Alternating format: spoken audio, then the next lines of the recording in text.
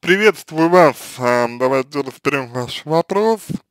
А, почему, когда парень предлагает встретиться, меня как будто в жар бросает, начинает болеть голова, сердце биться, волнение какое-то, как будто подсознательно я не хочу этой встречи, а когда мы вместе, чувствую себя прекрасно.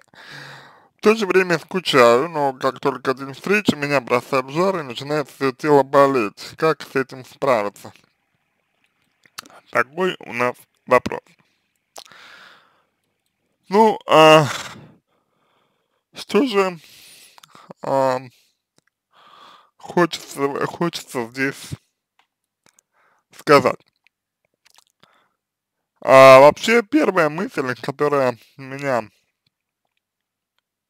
была, когда я прочитал ваш а, текст, у меня возникло такое ощущение, что а вы вот э, боитесь э, встречаться, встреч, э, встречаться? Э, с э, человеком, э, то есть как-то вот он вас, э, как-то вот э, с ним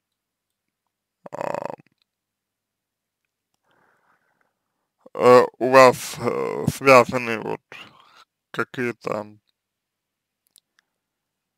а, неприят, неприятные чувства, да, неприятные ощущения. Вот. А, вероятно, вы ста- э, как-то вот сталкиваетесь эм, с тем, что нужно себя оценивать, вот, вероятно, вы сталкиваетесь с, с тем, что нужно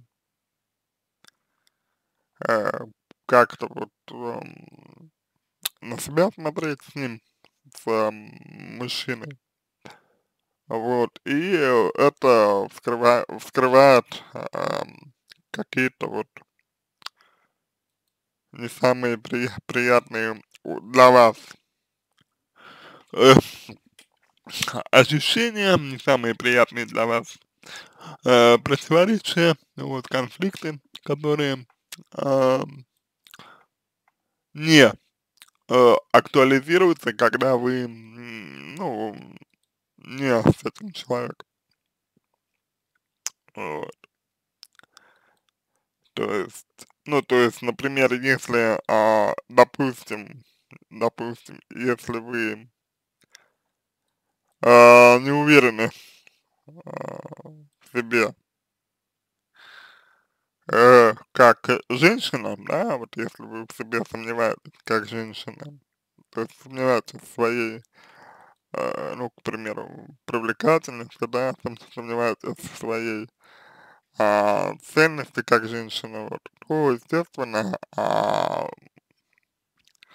встреча с этим человеком, если он для вас а, дорог, вот, а, естественно, будет вызывать такие ощущения, волнения, потому что, ну, по сути, это будет означать, что, что вы идете вот на э, какую-то проверку, да, вы идете на какую-то, ну, э, на какую-то борьбу, вы идете на э, как, э, значит, ну, на, на, на, каку, на какую-то э, на какое-то преодоление, преодолевание чего-то. Э, вот. И, конечно, это э, серьезные проблемы для вас, поэтому тут, тут вот нужно а, поисследовать, а, что конкретно и как конкретно вы начинаете переживать. Потому что совершенно очевидно, что в данном русле, в данном, в данном э, ключе. Вот. А вы больше обращаете внимание, конечно, конечно же, на себя э, и на свои эмоции, да, на свои переживания, нежели чем на молодого человека. Вот сам молодой человек вам здесь, на самом деле, не высвечивает, не высвечивается э, как э, что-то, э, что на первом месте находится. Вот. Поэтому э, важно посмотреть, какую проблему вы э, свою пытаетесь решить, вот. Что вы пытаетесь решить э, здесь, в этой, в этой, в этом контексте, вот, и после этого уже, э, значит, разби разбираться, как можно было бы это противоречие или конфликт разрешить.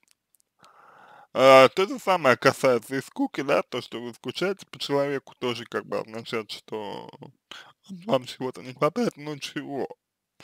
Как бы вам не хват не не, э, не хватало именно вот, э, как бы вам не не хватало именно какого-то своего ощущения состояния с этим с этим человеком.